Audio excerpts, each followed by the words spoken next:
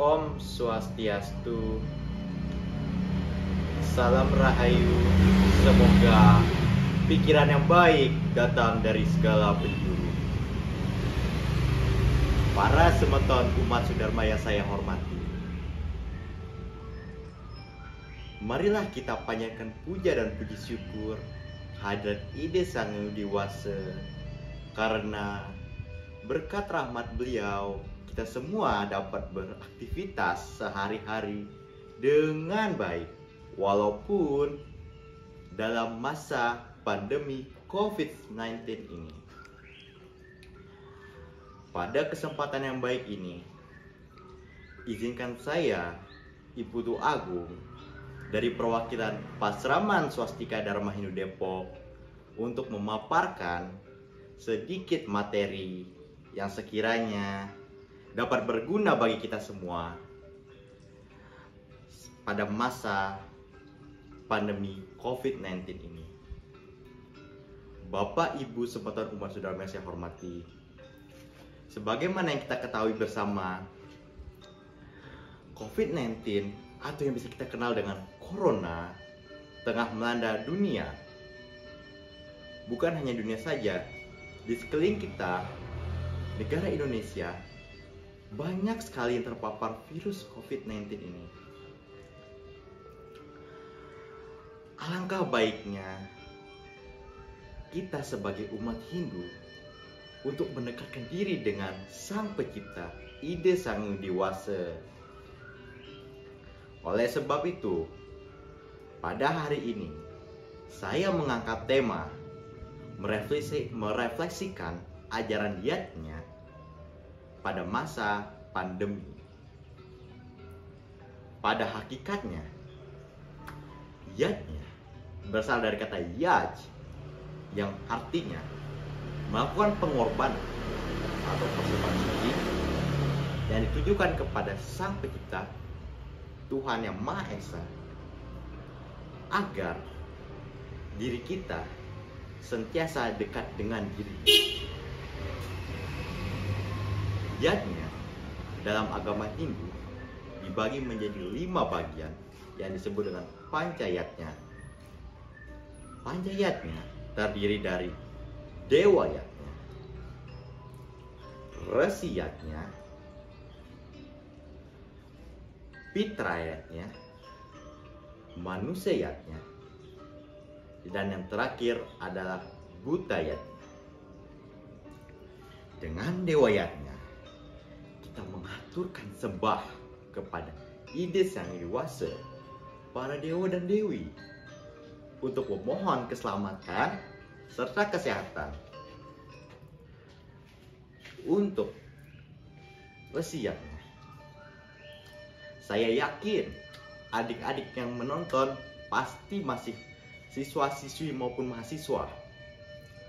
Oleh sebab itu, kita sebagai siswa wajib dan diharuskan untuk sentiasa menghormati guru kita yang ada di sekolah yang di mana dalam catur guru itu disebut dengan guru pengajian. Walaupun kita tidak sedang tatap muka kita wajib mendengarkan nasihatnya seperti mengumpulkan tugas tepat waktu tidak telat deadline mengerjakan resume dengan baik dan lain-lain dengan fitrayatnya kita sudah berbakti kepada orang tua kita. Fitrayatnya tidak hanya sekedar dengan leluhur nenek moyang tapi kepada kedua orang tua kita. Dengan cara apa? Pada masa pandemi ini anak-anak sering nasihati untuk melakukan prokes 3M memakai masker mencuci tangan pakai sabun serta menghindari kerumunan. Tetapi, tapi ya, masih aja saja yang melanggar aturan tersebut, yang tidak mendengarkan nasihat kedua orang tuanya.